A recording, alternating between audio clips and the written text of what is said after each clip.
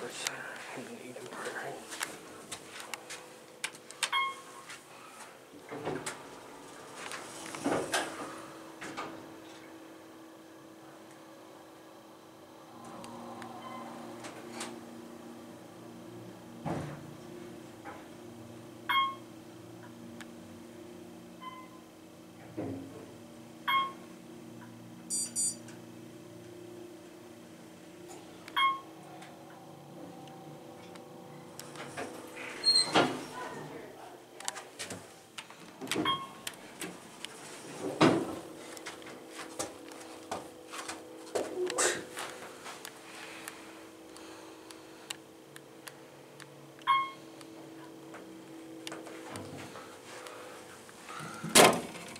There's the phone. It's the phone.